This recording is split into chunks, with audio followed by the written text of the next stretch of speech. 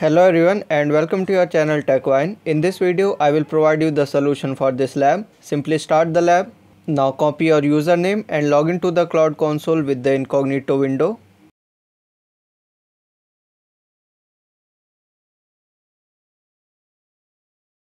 And once you are logged in, simply search for BigQuery. Open this.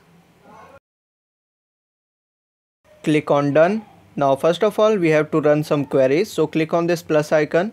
Now simply go to the description you will get a link of the github repository. Now copy the queries from the line number 1 to the line number 61. Up to this point we have to copy. Now run these queries Now let's go back. We have to create a dataset. For the dataset name, go back to the lab and move to the task 4 and you will get the dataset name. This is called taxi. Click on these three dots. Create dataset provide the name. And click on create. And that's all. Again go back to the github file and copy rest of the queries from the line number 73 to the bottom.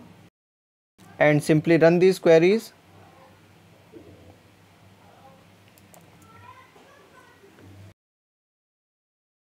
Once all the queries are completed, you can go back to the lab and check the progress for all the tasks.